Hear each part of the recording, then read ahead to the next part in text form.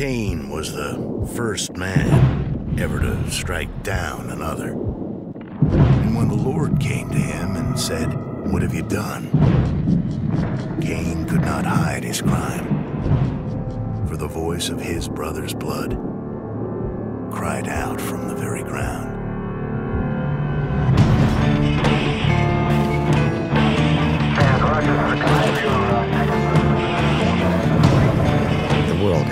Battlefield.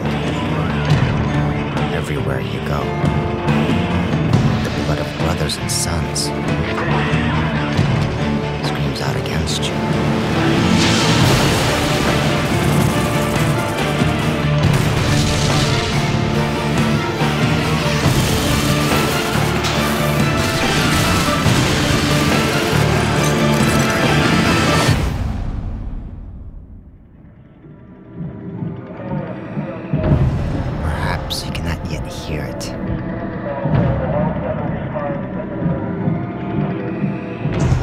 the soil is not your own.